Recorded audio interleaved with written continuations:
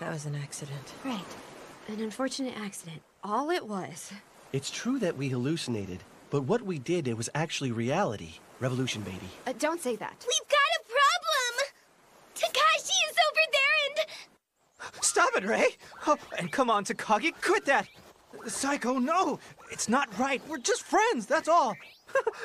oh, come on, girls. We shouldn't be doing this. It's, it's crazy. Don't, don't that tickles. Oh, ah.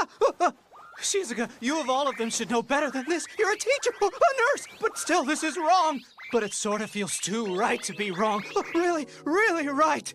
No, no, no, oh, no, no.